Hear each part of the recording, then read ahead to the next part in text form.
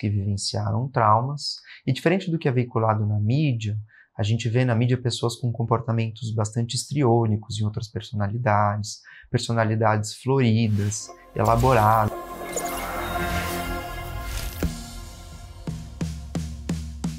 Que é o que o psiquiatra vai ver muitas vezes nos pacientes que têm dissociação patológica e que não têm outros transtornos mentais.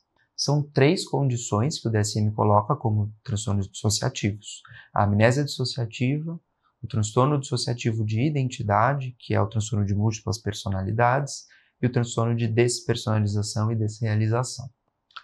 O que é a amnésia dissociativa? A amnésia dissociativa é a incapacidade de recordar dados autobiográficos.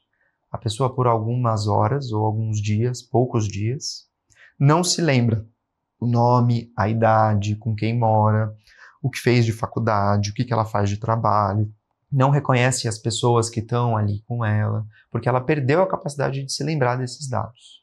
Toda perda abrupta de memória autobiográfica é altamente sugestiva de amnésia dissociativa. Nos quadros neurológicos de perda de memória, a pessoa raramente, na verdade nunca num quadro orgânico, vai perder a capacidade de lembrar o próprio nome, a idade, com quem mora, o que faz de trabalho. Isso vai acontecer nas demências no estágio muito final da demência, ela esqueceu o próprio nome, por exemplo, propriedade, quem são as pessoas, de onde que ela vem, quando ela já tem muitas alterações motoras e de fala. Então, quadros abruptos em que a pessoa perde exclusivamente a memória são altamente sugestivos de amnésia dissociativa, de ser algo psiquiátrico. Normalmente os dados esquecidos são traumáticos, mas podem ser dados também gerais de biografia, e ela pode ocorrer logo após uma situação traumática ou muito tempo depois, não necessariamente isso vem é, linearmente conectado. Existem três subtipos de amnésia dissociativa. Na amnésia dissociativa generalizada, a pessoa esquece a vida inteira. Não se lembra onde nasceu, quem são os irmãos, quem são os pais, o nome, a idade, o que faz da vida, nada. Na amnésia dissociativa localizada, ela esquece tudo que aconteceu dentro de um período. Então eu não lembro de nada do que eu fiz em janeiro de 2020. A pessoa perde, se repete, pergunta para as pessoas várias vezes o que fez, não se lembra.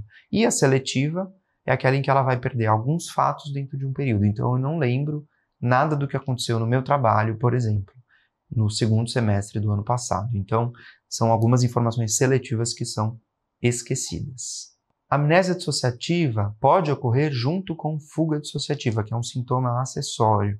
O que é fuga dissociativa? É um episódio de vagar ou viajar sem rumo durante esse episódio de amnésia. Então, além de não se lembrar nada, não lembrar quem é, onde está, a pessoa sai e sai perambulando sem destino. Os diferenciais principais diante da amnésia dissociativa são a epilepsia, então, depois de um quadro epilético, a pessoa pode ficar com uma amnésia por um tempo, o traumatismo crânioencefálico a amnésia global transitória é a intoxicação. Como eu falei, na intoxicação isso é uma dissociação orgânica e não uma dissociação primária psiquiátrica. A amnésia global transitória vale a pena parar um pouquinho para falar desse diferencial. É um fenômeno que costuma durar 24 a 48 horas, em geral desencadeado por viagens, atividade sexual, mudança de temperatura, em que a pessoa perde a capacidade de reter novas informações. Então a pessoa fica repetitiva, fica se perguntando como ela chegou, onde ela está naquele momento, mas ela se lembra o nome, se lembra a idade, se lembra com quem está. Ela perde durante essas 24 horas a capacidade de reter informações. Isso é um quadro neurológico que tem alteração em ressonância magnética, por exemplo, que isso é verificável, isso não é amnésia dissociativa. Quando a pessoa está numa amnésia dissociativa, ela se esquece de dados muito anteriores e não apenas perde a capacidade de reter novos dados. Passando a falar um pouquinho agora das múltiplas personalidades ou do transtorno dissociativo de identidade, que está muito na mídia hoje em dia. Então, o que caracteriza ele é a existência de mais uma personalidade na mesma pessoa. Aquele mesmo corpo, aquela mesma pessoa, vamos dizer assim, passa a ter mais de uma personalidade que se comportam de forma, em algum grau, diferentes. É um transtorno pós-traumático do neurodesenvolvimento infantil. Essa frase é extremamente importante.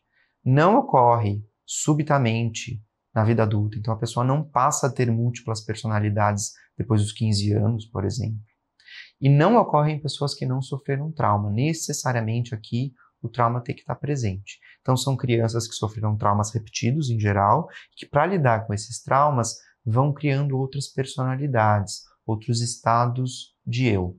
Sempre ocorrem pessoas que vivenciaram traumas, e diferente do que é veiculado na mídia, a gente vê na mídia pessoas com comportamentos bastante estriônicos em outras personalidades, personalidades floridas, elaboradas, estáveis ao longo do tempo. Então a pessoa vai para uma personalidade B, essa personalidade B é sempre mais corajosa ou é sempre mais estudiosa, enfim, isso não acontece. Em geral, são personalidades com comportamento muito disfuncional, muito desorganizado, que levam a uma ruptura da funcionalidade mesmo.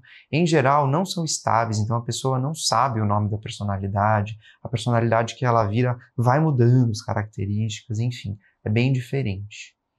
Normalmente os sintomas são sutis e convergentes, ou seja, entre as diferentes personalidades, a principal da pessoa e a outras, as outras que ela vem a ter, as mudanças são poucas, tem poucas diferenças e tem muitas semelhanças. Então, os sintomas tendem a ser mais convergentes, na verdade. São poucas as diferenças entre as personalidades.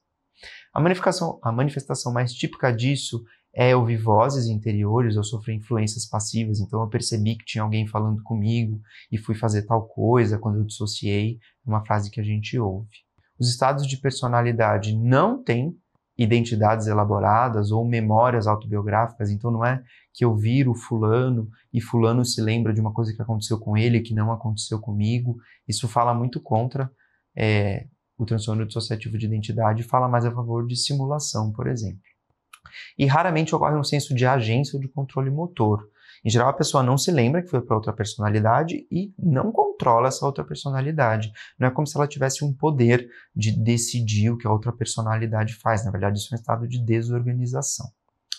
Existe um debate na literatura se a presença de múltiplas personalidades seria entendida pelo modelo do trauma ou pelo que se chama de modelo sociocognitivo. O modelo sociocognitivo vai falar que essas identidades acontecem por conta de sugestionabilidade ou propensão à fantasia. Então, tem pessoas que são mais sugestionáveis para tudo na vida, e se essas pessoas ouvem falar de pessoas com múltiplas personalidades, elas passam a ter ou a sentir que têm múltiplas personalidades. Nesse modelo, influências culturais, midiáticas e religiosas exerceriam uma influência e não haveria uma explicação psicobiológica para isso.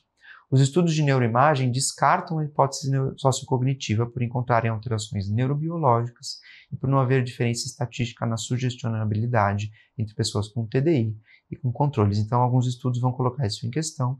O que a gente vê é que a sugestão sim faz muitas pessoas acreditarem ou se sentirem como tendo múltiplas personalidades, mas essas pessoas não têm um transtorno dissociativo de identidade, porque elas não têm disfunção por conta disso, na grande maioria das vezes, ou não sofrem. A ausência de comprovação do modelo sociocognitivo não exclui a existência de simulação ou de possessões culturalmente sancionadas. Então, para algumas pessoas, a gente vai ver que isso acontece nesses contextos. Alguns autores defendem que existe um subtítulo possessivo do TDI, então em que ah, identidades alternativas ou externas ao eu se apoderam, né, da experiência da pessoa, espíritos ou demônios incorporam na pessoa, e essa forma dependeria então do contexto sociocultural.